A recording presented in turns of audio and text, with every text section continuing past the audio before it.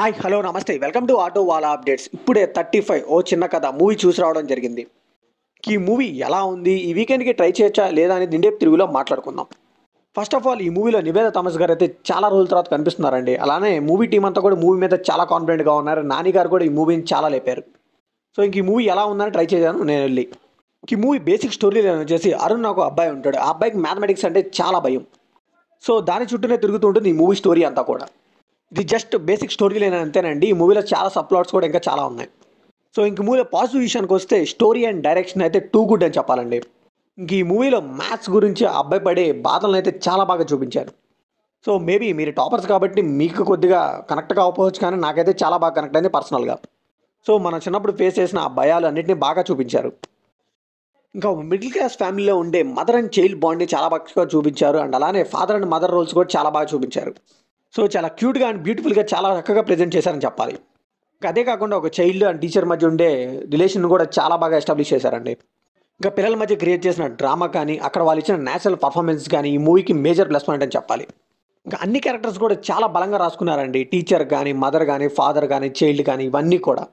And each and every character కూడా pay off అయితే పర్ఫెక్ట్గా సెట్ అయ్యింది ఈ మూవీలో డైలాగ్స్ ఎవరు రాశారో నాకు తెలియదు కానీ చాలా థాట్ ప్రొవోకింగ్గా చాలా హార్ట్ హీటింగ్గా చాలా సింపుల్గా అనిపించాయండి. ఈ మూవీలో మ్యూజిక్ బై వేసాగర్ అయితే వన్స్ అగైన్ షేండ్ అని చెప్పాలండి. సాంగ్స్ కూడా ఫ్లోలో ఒక ఫ్రెష్ మ్యూజిక్తో వెళ్ళిపోతూ ఉంటాయన్నమాట. ఇక ఇంకా సినిమాటోగ్రఫీ అయితే రిచ్ విజువల్స్తో తిరుపతి బ్యాక్గ్రౌండ్లో చాలా ఫ్రెష్ ఫీల్తో వెళ్ళిపోతూ ఉంటుంది మూవీ ఇంకా ప్రొడక్షన్ వాల్యూస్ అయితే ఎక్కడా కూడా తగ్గలేదండి టూ గుడ్ అని చెప్పాలి. అండ్ ఇలాంటి కథ చెప్పడం అంటే మామూలు విషయం కాదు అండ్ సురేష్ ప్రొడక్షన్కి మనం అయితే హ్యాట్స్ ఆఫ్ చెప్పాలి ఇలాంటి మూవీస్ని ఇంకా ప్రజెంట్ చేస్తున్నందుకు. ఈ మూవీలో నెగిటివ్స్ విషయానికి వస్తే initial portions of the movie అయితే కొద్దిగా స్లోగా అనిపించిందండి. ఎస్పెషల్లీ ఆ క్యారెక్టర్స్ ఎస్టాబ్లిష్ చేసేటప్పుడు కొద్దిగా స్లో అనిపించింది అక్కడ కొద్దిగా స్క్రీన్ ప్లే బాగుంటే ఇంకా బాగుండేది. ఇంకా ఆ పిల్లోడికి మ్యాథ్స్ అంటే ఎందుకు అంత భయం అనేది ఇంకొద్దిగా డీటెయిల్గా చెప్తే చాలా బాగుండేదండి. And most of the cinema అంతా కూడా చాలా స్లో ప్లేస్లోనే వెళ్తూ ఉంటుంది.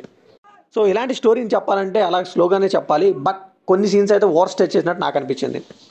ఇంకా సెకండ్ హాఫ్లో కొన్ని సీన్స్ అయితే మనల్ని అయితే అంత ఎంగేజ్ చేయలేదండి. కొద్దిగా స్ట్రెచ్ ఫీల్ అయితే నాకైతే వచ్చింది. గిమ్ములో పర్ఫార్మెన్స్ విషయానికి వస్తే నివేద థామస్ గారు అండి ఆవిడైతే బ్లడ్ అండ్ సోట్ పెట్టారని నాకు అనిపిస్తుంది. ఎందుకంటే ఒక మదర్ క్యారెక్టర్ని యాక్సెప్ట్ చేయడమే కాకుండా దానికోసం ఆవిడ పడిన ట్రాన్స్ఫర్మేషన్ అయితే నేనైతే అసలు ఎక్స్పెక్ట్ చేయలేదు. సో ఒక్క ముక్కలో చెప్పాలంటే ఆవిడ వల్ల ఈ మూవీకి హైప్ వచ్చిందండి. ఆవిడ లేకపోతే ఈ మూవీ అస్సలు లేదనే చెప్పాలి.